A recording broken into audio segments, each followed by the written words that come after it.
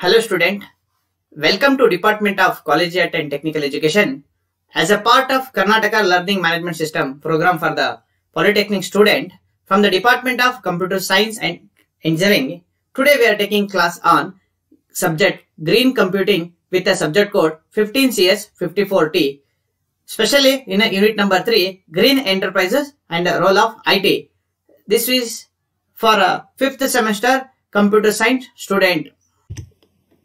Let's recap what all we have studied in previous sessions so ಮುಂದಿನ ಹಿಂದಿನ ಸೆಷನ್ಗಳಲ್ಲಿ ನಾವೇನು ಕಲ್ತಿದ್ದೀವಿ ಅಂತ ಒಂದು ಸ್ವಲ್ಪ ರಿಕ್ಯಾಪ್ ಮಾಡ್ಕೊಳ್ಳೋಂತ ನೆನ್ಪು ಮಾಡ್ಕೊಳ್ಳೋದಂತೆ ಸೊ ಈ ರಿವೈಂಡ್ ಸಿಂಬಲ್ ಅದನ್ನೇ ಸಿಗ್ನಿಫೈಸ್ ಮಾಡುತ್ತೆ. ನಾವು ಹಿಂದ್ಗಡೆ ಏನು ಕಲ್ತಿದ್ದೀವಲ್ಲ ಅದನ್ನ ನೋಡ್ಕೊಳ್ಳೋಕ್ಕೆ ಸೊ ನಾವು ಹಿಂದಿನ ಕ್ಲಾಸ್ಗಳಲ್ಲಿ ಏನೇನು ಕಲ್ತಿದ್ದೀವಪ್ಪ ಅಂತಂದ್ರೆ ಇನ್ಫಾರ್ಮೇಷನ್ ಸಿಸ್ಟಮಿನ ಗ್ರೀನಿಂಗ್ ಎಂಟರ್ಪ್ರೈಸಸ್ ಬಗ್ಗೆ ಕಲ್ತಿದ್ದೀವಿ ಯಾವ್ಯಾವ ಸಾಫ್ಟ್ವೇರ್ಗಳು ಯಾವ ಸಾಫ್ಟ್ವೇರ್ ಟೂಲ್ಗಳನ್ನು ಯೂಸ್ ಮಾಡೋದ್ರಿಂದ ಎಂಟರ್ಪ್ರೈಸಸ್ನ ಗ್ರೀನ್ ಮಾಡ್ಬೋದ್ರ ಬಗ್ಗೆ ನಾವು ಕಲ್ತಿದ್ದೀವಿ ನೇಮ್ಲಿ ಯಾವ್ಯಾವಪ್ಪ ಅಂತ ಹೇಳಿದ್ರೆ ಅದು ಒಂದು ಇ ಆರ್ ಪಿ ಆಗಿರ್ಬೋದು ಎಂಟರ್ಪ್ರೈಸ್ ರಿಸೋರ್ಸ್ ಪ್ಲಾನಿಂಗ್ ಆಗಿರ್ಬೋದು, ಮತ್ತೊಂದು ಇ ಎಂ ಐ ಎಸ್ ಆಗಿರ್ಬೋದು ಎನ್ವಿರಾನ್ಮೆಂಟ್ ಮ್ಯಾನೇಜ್ಮೆಂಟ್ ಇನ್ಫಾರ್ಮೇಶನ್ ಸಿಸ್ಟಮ್ ಅಂತ ಬರುತ್ತೆ. ಇವೆರಡರ ಬಗ್ಗೆನೂ ಕಲ್ತಿದ್ದೀವಿ. ಆಮೇಲೆ ಇ ಆರ್ ಪಿ ಹೇಗೆ ಇ ಎಂ ಐ ಎಸ್ ಇಂದ ಡಿಫ್ರೆನ್ಸ್ ಆಗಿದೆ ಡಿಫಿಷಿಯನ್ಸ್ ಇದೆ, ಅದರಲ್ಲಿ ಏನೇನು ಚಾಲೆಂಜಸ್ ಇದೆ, ಅದನ್ನು ಸಹ ನಾವು ಪ್ರೀವಿಯಸ್ ಕ್ಲಾಸಸ್ಗಳಲ್ಲಿ ಕಲ್ತಿದ್ದೀವಿ. ಅದೇ ತಮ್ಮ ಅದೇ ಥರ ನಾವು ಇಂಟರ್ ಆರ್ಗನೈಸೇಷನ್ ಎಂಟರ್ಪ್ರೈಸಸ್ ಆಕ್ಟಿವಿಟಿ ಅಂದರೆ ಏನು? ಎಂಟರ್ಪ್ರೈಸಸ್ ಆಕ್ಟಿವಿಟಿ ಅಂದ್ರೆ ಏನು? ಎರಡು ಅಥವಾ ಎರಡಕ್ಕಿಂತ ಜಾಸ್ತಿ ಎಂಟರ್ಪ್ರೈಸಸ್ಗಳು ಯಾವ ರೀತಿ ಆಕ್ಟಿವಿಟೀಸ್ಗಳನ್ನ ಮಾಡ್ತವೆ, ಅದರಲ್ಲಿ ಏನೇನು ಬರುತ್ತೆ ಇ ಕಾಮರ್ಸ್ ಅಂದ್ರೆ ಏನು electronic commerce and greening extended enterprises ಇದ್ರ ಕನ್ಸೆಪ್ಟ್ ಬಗ್ಗೆ ನಾವು ಸಮಗ್ರ ಕಲ್ತಿದ್ದೀವಿ. ಎಂ ಕಾಮರ್ಸ್ ಅಂದ್ರೆ ಏನು ಇ ಕಾಮರ್ಸ್ ಅಂದ್ರೆ ಏನು, ಅದರಲ್ಲಿ ಏನ್ ಡಿಫ್ರೆನ್ಸಸ್ ಬರುತ್ತೆ ಇ ಕಾಮರ್ಸ್ ಅಲ್ಲಿ ಟೈಪ್ ಗಳಷ್ಟು ಏನೇನಿದೆ ಅದು ಯಾವ ರೀತಿ ಗ್ರೀನ್ ಇಶ್ಯೂಗಳನ್ನ ರೆಡ್ಯೂಸ್ ಮಾಡುತ್ತೆ, ಯಾವ ರೀತಿ ಎನ್ವಿರಾನ್ಮೆಂಟ್ ಫ್ರೆಂಡ್ಲಿ ಆಗಿರುತ್ತೆ ಅನ್ನೋದ್ರ ಬಗ್ಗೆ ನಾವು ಸಮಗ್ರವಾಗಿ ಕಲ್ತಿದ್ದೀವಿ. ಅದಾದ ತಕ್ಷಣ ನಾವು de manufacturing and reverse logistic ಬಗ್ಗೆ ಕಲ್ತಿದ್ದೀವಿ. ಮ್ಯಾನುಫ್ಯಾಕ್ಚರಿಂಗ್ ಅಂದ್ರೆ ಏನು? ಡಿ ಮ್ಯಾನುಫ್ಯಾಕ್ಚರಿಂಗ್ ಅಂದ್ರೆ ಏನು? ಲಾಜಿಸ್ಟಿಕ್ ಅಂದ್ರೆ ಏನು? ರಿವರ್ಸ್ ಲಾಜಿಸ್ಟಿಕ್ ಅಂದ್ರೆ ಬಗ್ಗೆನು ಕಲ್ತಿದ್ದೀವಿ. ವಿತ್ ಅನಿಮೇಟೆಡ್ ವಿಡಿಯೋ ಹೇಗೆ ಒಂದು ರಾ ಮಟೀರಿಯಲ್ ಇಂದ ಒಂದು ಪ್ರಾಡಕ್ಟ್ ಆಗುತ್ತೆ, ಆ ಪ್ರಾಡಕ್ಟ್ನ ವೇರಿಯಸ್ ಸ್ಟೇಜಸ್ ಹೋಗಿ ಬೇರೆ ಬೇರೆ ಬೇರೆ ಬೇರೆ ಬೇರೆ ನಮ್ಮ ಪ್ರೊಸೆಸ್ ಅಲ್ಲಿ ಅದ್ರ ಹೇಗೆ ಡಿಸ್ಟ್ರಿಬ್ಯೂಟ್ ಆಗುತ್ತೆ ಅನ್ನೋದು ನಾವು ಕಲ್ತಿದ್ದೀವಿ. ನಾವು ಹೋದ್ ಸೆಷನ್ ಅಲ್ಲಿ ಯಾವ್ದಾರ ಮಣ್ಣಿಂದ ಮಡಿಕೆ ಮಾಡಿ, ಮಡಿಕೆಗೆ ಪೇಂಟ್ ಎಲ್ಲ ಮಾಡಿ, ಒಂದು ಪ್ರಾಡಕ್ಟ್ ಮಾಡಿ ಮಾರ್ಕೆಟ್ ಅಲ್ಲಿ ಮಾಡ್ತಾರೆ. ಅದು ಮ್ಯಾನುಫ್ಯಾಕ್ಚರಿಂಗ್ ಆದ್ರೆ, ಅದೇ ಮಡಿಕೆ ಒಡೆದೋದ್ಮೇಲೆ ಅದನ್ನ ನೆನೆಸಿ ಮತ್ತೆ ಹಿಟ್, ಮತ್ತೆ ಮಣ್ಣಾಗಿ ಕನ್ವರ್ಟ್ ಮಾಡೋದಕ್ಕೆ ರಿವರ್ಸ್ ಆ ಡಿ ಮ್ಯಾನುಫ್ಯಾಕ್ಚರಿಂಗ್ ಪ್ರೊಸೆಸ್ ಅಂತ ಸಮಗ್ರವಾಗಿ ನಾವು ಕಲ್ತೀವಿ. ಈ ಕಾನ್ಸೆಪ್ಟ್ ಬಗ್ಗೆ ನಿಮ್ಗೆ ಏನಾದರೂ ಡೌಟ್ ಇದ್ರೆ ಪ್ರೀವಿಯಸ್ ಸೆಷನ್ ವಿಡಿಯೋನ ಪ್ಲೀಸ್ ವಿಸಿಟ್ ಮಾಡ್ರಿ, ಮತ್ತೊಮ್ಮೆ ನೋಡ್ರಿ. ಅದೇ ತರ ಇನ್ನೊಂದು ಇಂಪಾರ್ಟೆಂಟ್ ಆಸ್ಪೆಕ್ಟ್ ಏನು ನಾವು ಕಲ್ತೀವಿ ಅಂದ್ರೆ eco industrial park and information system ಬಗ್ಗೆ ಕಲ್ತಿದೀವಿ. ಎಕೋ ಇಂಡಸ್ಟ್ರಿಯಲ್ ಪಾರ್ಕ್ ಅಂದ್ರೆ ಏನು? ಪಾರ್ಕ್ ಅಂದ್ರೆ ಏನು? ಇಂಡಸ್ಟ್ರಿಯಲ್ ಅಂದ್ರೆ ಎಕೋ ಇಂಡಸ್ಟ್ರಿಯಲ್ ಪಾರ್ಕ್ ಅಂದ್ರೆ ಏನು?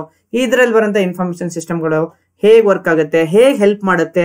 ಯಾವ ಚಾಲೆಂಜಸ್ ಬರುತ್ತೆ? ಆಪರ್ಚುನಿಟಿ ಹೇಗಿರುತ್ತೆ? ಅಸೆಸ್ಮೆಂಟ್ ಹೇಗಿರುತ್ತೆ? ರಿಪೋರ್ಟಿಂಗ್ ಹೇಗೆಲ್ಲ ಮಾಡ್ತೀವಿ? ಅದ್ರ ಬಗ್ಗೆನೂ ಸಹ ನಾವು ಸಮಗ್ರವಾಗಿ ನಾವು ಪ್ರಿವಿಯಸ್ ಸೆಷನ್ಗಳಲ್ಲಿ ಕಲ್ತಿದ್ದೀವಿ.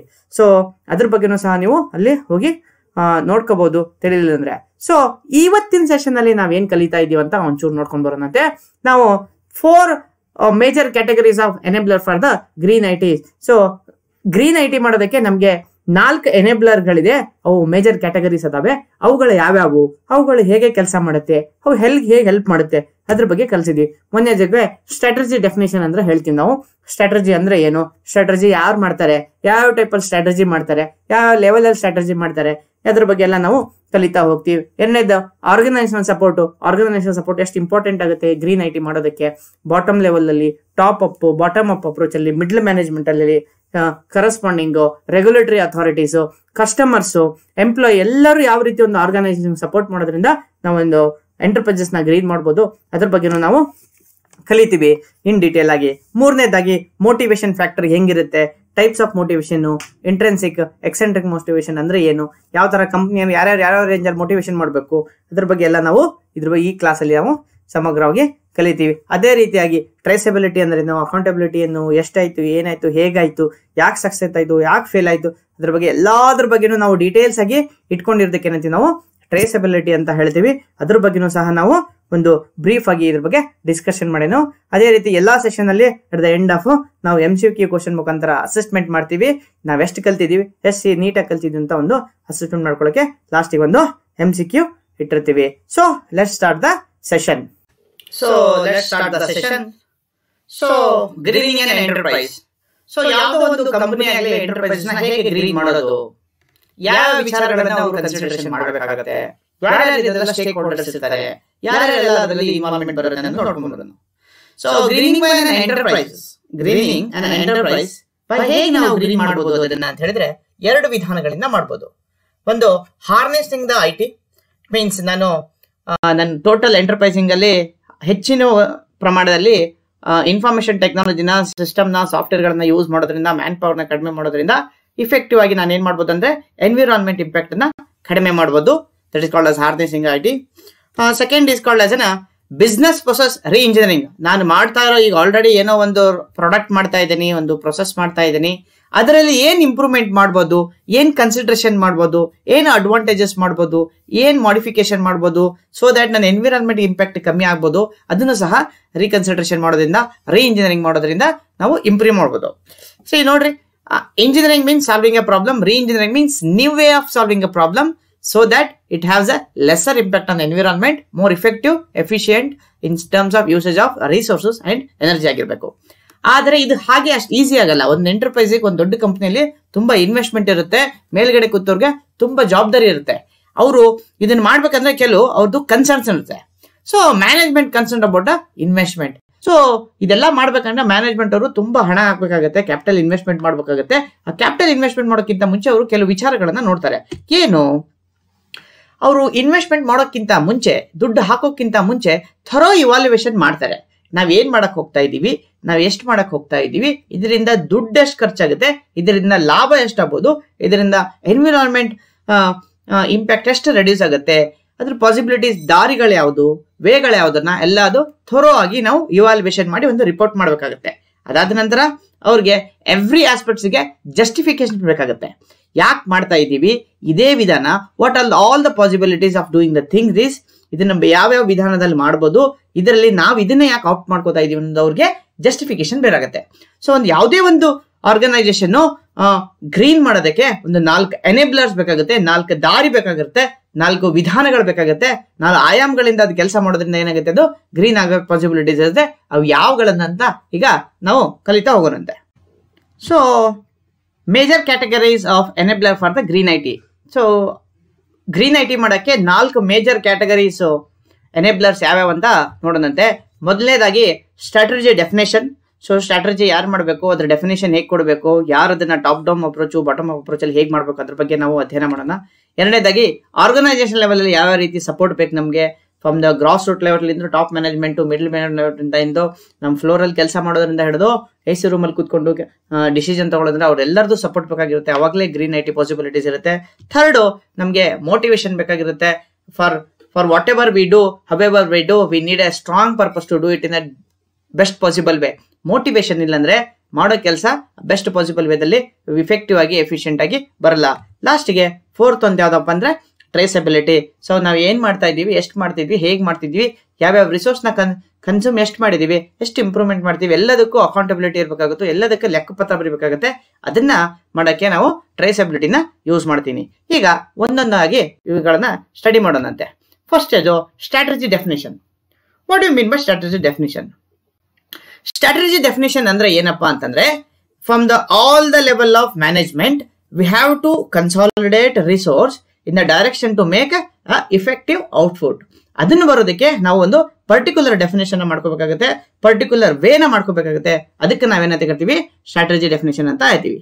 ಸೊ ಇದರಲ್ಲಿ ಸ್ಟ್ರಾಟಜಿ ಡೆಫಿನೇಷನ್ ಮಾಡೋದ್ರಿಂದ ನಮ್ಗೆ ಏನಾಗುತ್ತೆ ಅಂತಂದ್ರೆ we get clear target definition for the sustainability is required so ನಾನು ಸ್ಟ್ರಾಟಜಿ ಮಾಡ್ಬೇಕಂತ ಹೇಳಿದ್ರೆ, ನನಗೆ ಒಂದು ಟಾರ್ಗೆಟ್ ಬೇಕಾಗಿರುತ್ತೆ. ಏನು ಮಾಡಬೇಕು, ನಾನು ಎಷ್ಟು ಕಡಿಮೆ ಮಾಡಬೇಕು, ಅವ್ರ ವಾಟ್ ರೇಂಜ್ ಅಲ್ಲಿ ನಾನು ಎನ್ವಿರಾನ್ಮೆಂಟ್ ಅಸೆಸ್ ಮಾಡಬೇಕು ಇಂಪ್ಯಾಕ್ಟ್ ಅನ್ನ ನಾವು ರೆಡ್ಯೂಸ್ ಮಾಡಬೇಕು ಅನ್ನೋದು ಗೊತ್ತಿದ್ದಾಗ ಅದರ ಅನುಗುಣವಾಗಿ ನಾವು ಏನಂತ ಮುಂದಿಂದೆಲ್ಲ ಕೆಲಸಗಳನ್ನ ಮಾಡಬೇಕಾಗತ್ತೆ. ಸೊ ಇಲ್ಲಿ ನೋಡ್ಬೇಕು ಇಲ್ಲಿ ಇಲ್ಲಿ ಎರಡು ಇಂಪಾರ್ಟೆಂಟ್ ಟರ್ಮ್ಸ್ ಬರುತ್ತೆ. ಒಂದು ಟಾರ್ಗೆಟೆಡ್ ಡೆಫಿನೇಷನ್ ಬೇಕಾಗುತ್ತೆ. ಟಾರ್ಗೆಟ್ ಡೆಫಿನೇಷನ್ ಯಾಕಂದ್ರೆ ಸಸ್ಟೈನಬಿಲಿಟಿ ರಿಕ್ವೈರ್ಮೆಂಟ್ಗೆ ಎರಡಕ್ಕೂ ಬೇಕಾಗುತ್ತೆ. ಸಸ್ಟೈನಬಿಲಿಟಿ ಅಂದ್ರೆ ಈ ಮುಂಚೆ ನಾನು ಹೇಳಿರೋ ಪ್ರಕಾರ without compromising need necessary essentials of future generation consuming the resources for today's need is called as sustainability ಅದನ್ನ ನಾವು ಗಮನದಲ್ಲಿ ಇಟ್ಕೊಂಡು ಒಂದು ಟಾರ್ಗೆಟ್ನ ಫಿಕ್ಸ್ ಮಾಡಿದ್ಮೇಲೆ ಅದನ್ನ ನಾವು ಹೇಗೆ ಅಚೀವ್ ಮಾಡ್ಕೋಬೇಕಂದು ಸ್ಟ್ರಾಟಜಿ ಡೆಫಿನೇಷನ್ ಕೊಡುತ್ತೆ ನಮಗೆ. ನೆಕ್ಸ್ಟ್ ಪಾಯಿಂಟ್ ಏನ್ ಹೇಳುತ್ತೆ ನೋಡ್ರಿ? ಕಾರ್ಪೊರೇಟ್ ಸ್ಟ್ರಾಟಜಿ ಮೆಜರ್ ಸೊ ನಾವು ನಾವು ಸ್ಟ್ರಾಟಜಿ ಡೆಫಿನೇಷನ್ ಕೊಡಬೇಕಾದ್ರೆ ಕಾರ್ಪೊರೇಟ್ ಲೆವೆಲ್ ಅಲ್ಲಿ ಅದನ್ನ ಬೇರೆ ರೀತಿಯಲ್ಲಿ ನಾವು ಮೆಜರ್ ಮಾಡ್ತೀವಿ.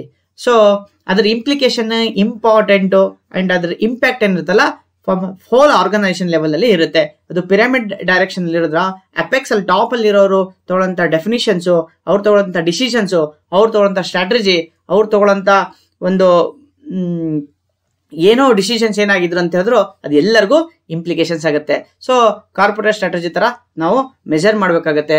Corporate strategy in corporate view ಅಲ್ಲಿ ನಾವು ಅದನ್ನ ನೋಡಿದೀವಿ ಅಂತಂದ್ರೆ ಅದರದ್ದು ಎಕನಾಮಿಕಲ್ ಏನು ಬರ್ಡನ್ಸ್ ಬರ್ಬೋದು ಅದರದ್ದು ಏನ್ ಬ್ರ್ಯಾಂಡಿಂಗ್ ಇಂಪ್ಯಾಕ್ಟ್ ಆಗ್ಬೋದು ಅದರದ್ದು ಸೋಷಿಯಲ್ ಕನ್ಸಿಡರೇಷನ್ ಎಷ್ಟು ಬಿಸ್ನೆಸ್ ವ್ಯಾಲ್ಯೂ ಏನ್ ಬರುತ್ತೆ, ಅದನ್ನೆಲ್ಲ ನಾವು ನೋಡ್ಬೇಕಾಗಿರುತ್ತೆ. ಸೊ ಈ ಕಾರ್ಪೊರೇಟ್ ಸ್ಟ್ರಾಟಜಿ ಮೆಜರ್ ಮಾಡಬೇಕಾದ್ರೆ ನಾವು ಎಕನಾಮಿಕ್ ಮ್ಯಾಟ್ರಿಕ್ಸ್ ನೋಡ್ತೀವಿ. ಎಷ್ಟು ದುಡ್ಡು ಇದಕ್ಕೆ ಖರ್ಚಾಗ್ಬೋದು, ಎಷ್ಟು ಇದರಿಂದ ಲಾಭ ಬರ್ಬೋದು, ಎಷ್ಟು ಇದರಿಂದ ಸಿಗ್ನಿಫಿಕೆನ್ಸ್ ನಮ್ಮ ಆರ್ಗನೈಸೇಷನ್ಗೆ ಆ್ಯಡ್ ಆಗುತ್ತೆ ವ್ಯಾಲ್ಯೂ ಅಡಿಷನ್ ಆಗುತ್ತೆ, ಅದನ್ನೆಲ್ಲ ನೋಡಬೇಕಾಗತ್ತೆ.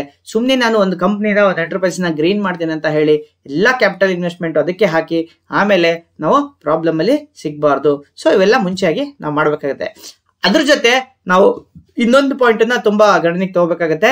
Value associated with economics so ಈ ಒಂದು ಪ್ರಾಡಕ್ಟ್ ಆಗಲಿ, ಒಂದು ಎಂಟರ್ಪ್ರೈಸ್ ಆಗಲಿ, ಒಂದು ಕಂಪನಿ ಆಗಲಿ ನಾವು ಗ್ರೀನ್ ಐ ಟಿ ಮಾಡೋದ್ರಿಂದ ನಮಗೆ ಏನು ವ್ಯಾಲ್ಯೂ ಸಿಗುತ್ತೆ ಅದರ out of apart from many ನಮಗೆ ಸೋಷಿಯಲ್ ವ್ಯಾಲ್ಯೂಸ್ ಏನು ಸಿಗುತ್ತೆ? ನಮಗೆ ಮಾರ್ಕೆಟ್ ಹೇಗೆ ಸಿಗುತ್ತೆ? ಕಸ್ಟಮರ್ ಬೇಸ್ನ ನಾವು ಹೇಗೆ ಇಂಪ್ರೂವ್ ಮಾಡ್ಕೋಬೇಕು?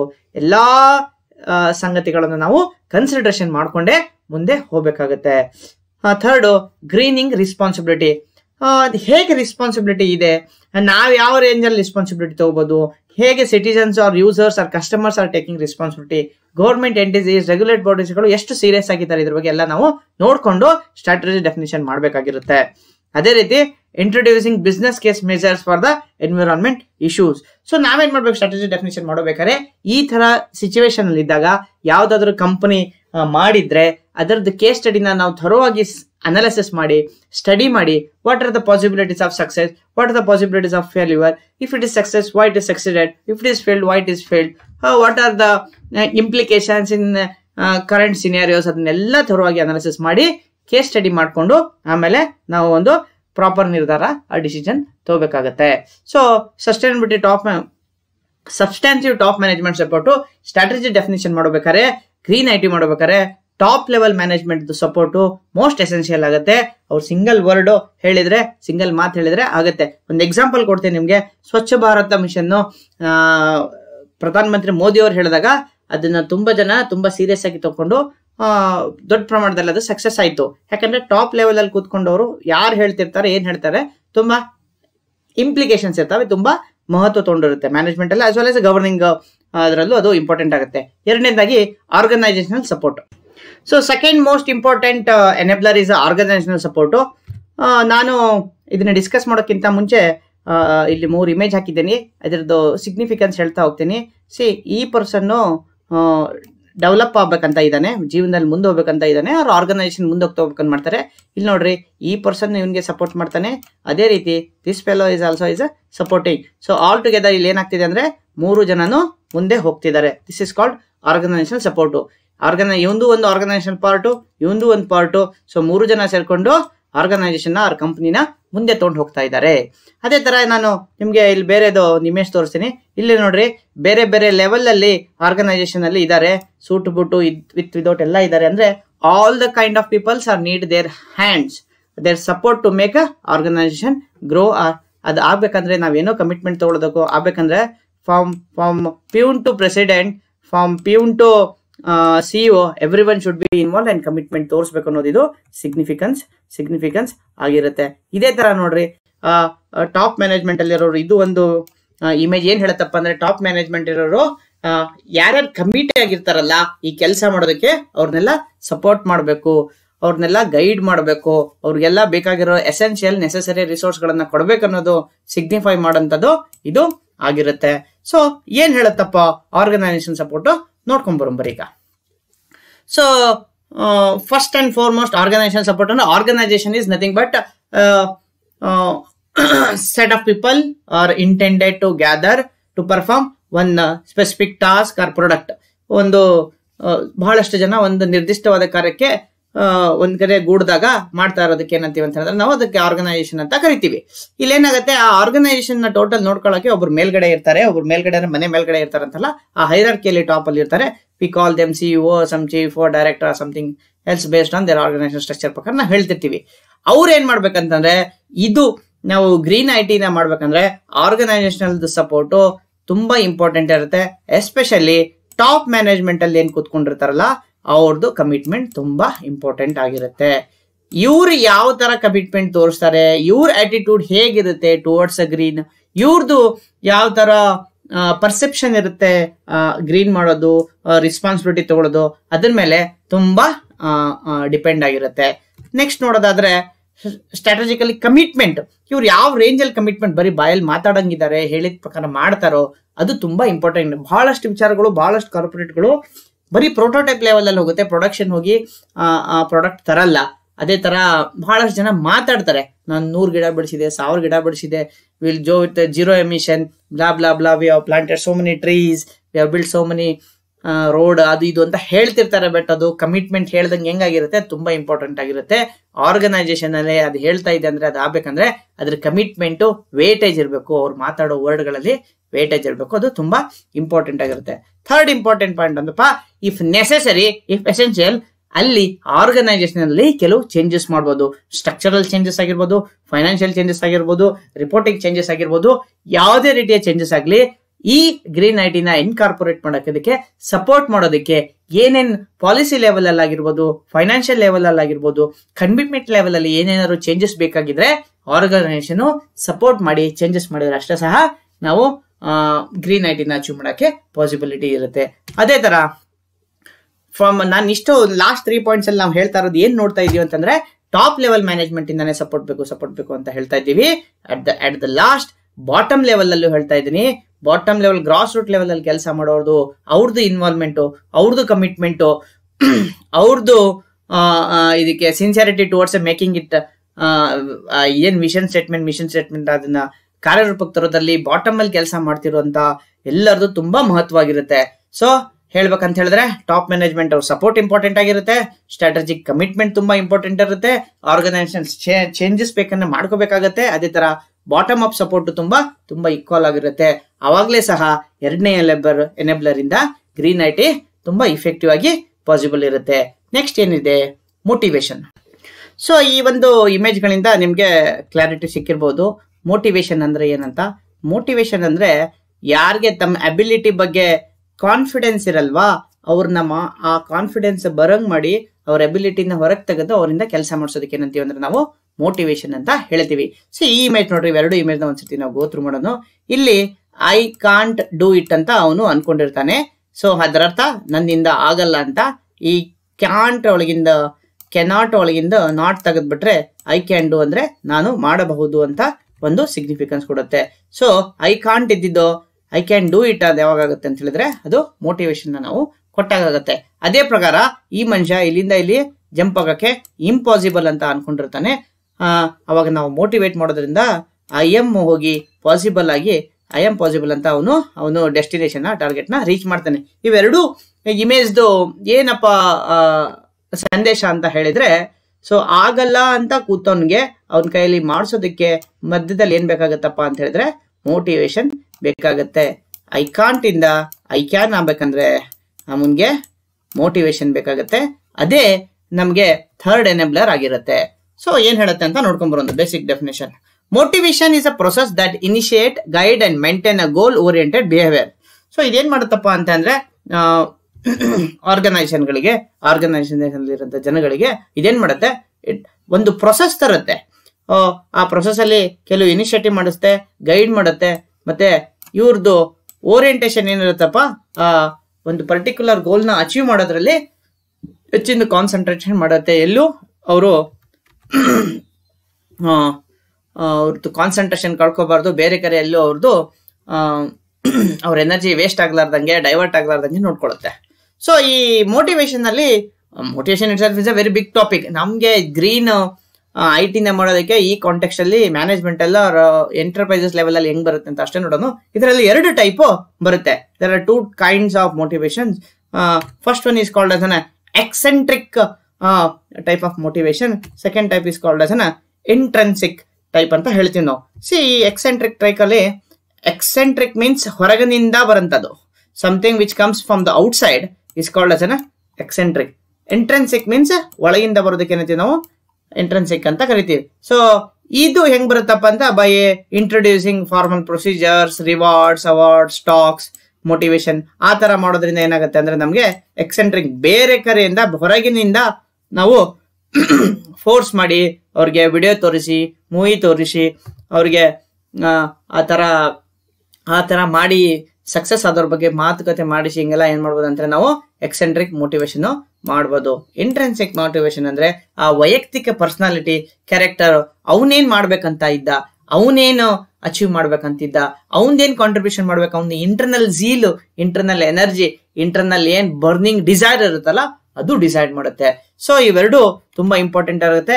ಎಕ್ಸ್ಟರ್ನಲ್ ಆಗಿನೂ ನಾವು ಮೋಟಿವೇಶನ್ ಮಾಡ್ತಾನೆ ಇರಬೇಕಾಗುತ್ತೆ. Employee management process procedure engineering reengineering manufacturing ಎಲ್ಲದಕ್ಕೂ ಅದೇ ತರ ಇಂಟ್ರೆನ್ಸಿಕ್ ಆಗಿ ಪರ್ಸನಾಲಿಟಿ ಆಗಿ ಅವ್ರನ್ನ ಬಿಲ್ಡ್ ಮಾಡ್ತಾ ಹೋಗ್ತಾ ಹೋಗ್ತಾ ನಾವೇನಾಗುತ್ತೆ ಅಂದ್ರೆ ಇದು ಒಂದು ಎನೆಬ್ಲರ್ ಆಗಿ ನಮಗೆ ಹೆಲ್ಪ್ ಆಗುತ್ತೆ to make a enterprise to make them a green so fourth enabler is a traceability so ಈ ಒಂದು ಇಮೇಜ್ ಆದಾಗ ನಾನು ನಿಮಗೆ ತೋರಿಸ್ತಾ ಇರೋದಂದ್ರೆ some processing are happening here stage by ಇದೊಂದು ಸ್ಟೇಜು ಇದೊಂದು ಸ್ಟೇಜು ಇಲ್ಲೊಂದು ಸ್ಟೇಜ್ ಇದೆ, ಇಲ್ಲೊಂದು ಸ್ಟೇಜ್ ಇದೆ. ಸೊ ಈ ಪರ್ಟಿಕ್ಯುಲರ್ ಸ್ಟೇಜ್ ಬಂದಾಗ ಏನಾಗ್ತಿದೆ?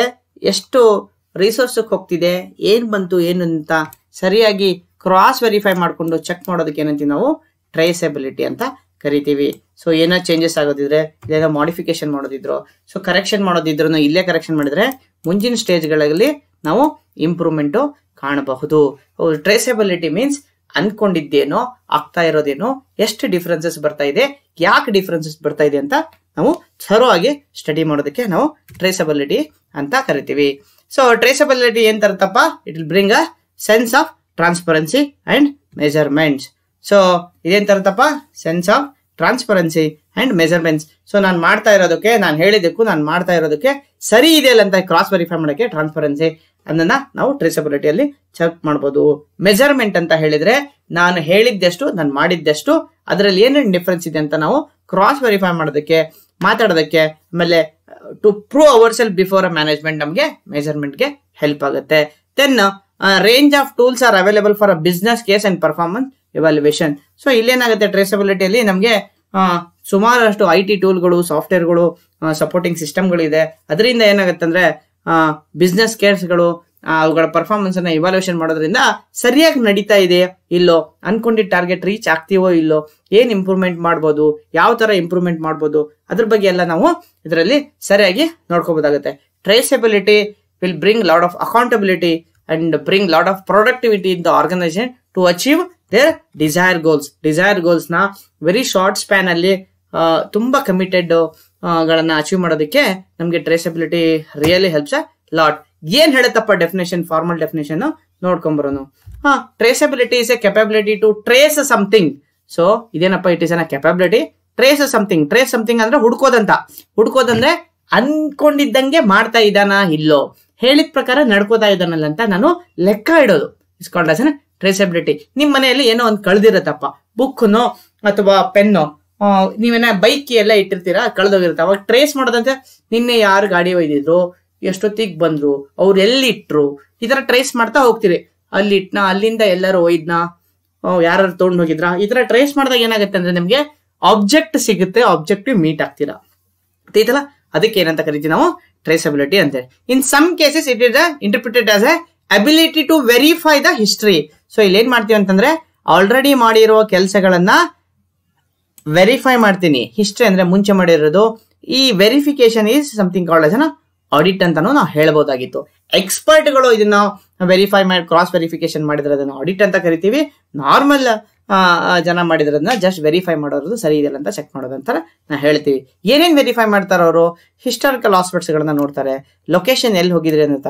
ಅಥವಾ application of an item by mean of documented recorded identification so ಅವ್ರು ಏನೇನು ಡಾಕ್ಯುಮೆಂಟೇಶನ್ ಅಲ್ಲಿ ಹೇಳ್ತಿದ್ದಾರೆ, ಹೇಳಿದ್ರು ಆಗಿದೆ ಅಂತಾರೆ. ಅದ್ರ ಪ್ರಕಾರ ಎಲ್ಲ ಕರೆಸ್ಪಾಂಡಿಂಗು ಎಂಟ್ರಿಗಳು ದಾಖಲೆಗಳು ಆಗಿದೆ ಅಂತ ಕ್ರಾಸ್ ವೆರಿಫೈ ಮಾಡೋದು ತುಂಬಾ ಇಂಪಾರ್ಟೆಂಟ್ ಆಗಿರುತ್ತೆ. ಒಂದ್ ನೂರು ಗಿಡ ಬೆಳೆಸೇನೆ ಅಂತ ಹೇಳಿ, ಯಾವುದೋ ಗಿಡ ಪ್ಲಾಂಟಿಂಗ್ ಆಗಿಲ್ಲ ಅಂದ್ರೆ ತುಂಬಾ ತಪ್ಪಾಗತ್ತೆ. ಅದರಿಂದ ಗ್ರೀನ್ ಅಚೀವ್ ಮಾಡೋಕ್ಕಾಗಲ್ಲ ಟ್ರೇಸಬಿಲಿಟಿ ಏನ್ ಮಾಡುತ್ತೆ? ಗಿಡ ಬೆಳೆಸಿದ್ರಾ? ಹೌದಾ? ಡಾಕ್ಯುಮೆಂಟ್ ಅಲ್ಲಿ ಹೇಳ್ತಾ ಇದ್ದೀರಾ? ಹಾಗಾದ್ರೆ ಗಿಡಕ್ಕೆ ನಂಬರಿಂಗ್ ಮಾಡ್ರಿ. ರ್ಯಾಂಡಮ್ ಆಗಿ ನಮ್ಮ ಆಫೀಸರ್ ಯಾವಾಗಾದ್ರೂ ಹೋಗಿ, ಯಾರಾದ್ರೂ ಹೋಗಿ ಅದನ್ನ ಟ್ರೇಸ್ ಮಾಡ್ಕೊಂಡ್ಬರ್ತಾರೆ ಚೆಕ್ ಮಾಡ್ಕೊಂಡ್ಬರ್ತಾರೆ. ಅವ್ರು ಮಾಡಿದಾಗ ಅಲ್ಲಿರ್ಬೇಕು ಮೂರು ವರ್ಷದ ಗಿಡ ಅಂದ್ಕೊಂಡ್ರೆ ಈ ಸೈಜಲ್ಲಿ ಇರ್ಬೇಕು ಅನ್ನೋದು ಒಂದು ಕನ್ಸೆಪ್ಟ್ ಇರುತ್ತೆ.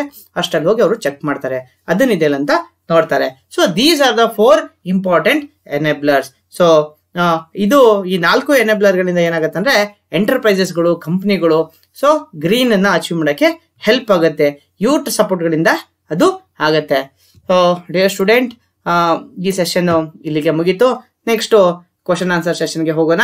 Will verify our self cross verify cross check assist our self how well we have studied in this session ಹಾ thank you very much so ಈಗ ಎಂ ಸಿ ಗಳನ್ನ visit ಮಾಡೋಣಂತೆ.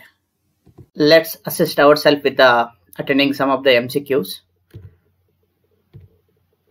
so first M C Q M C Q number one which of the following is are enable for the I T and green enterprises so option A is strategy definition option B is organizational support. Option c is motivation and traceability. Option 4 is all of the above. Next question.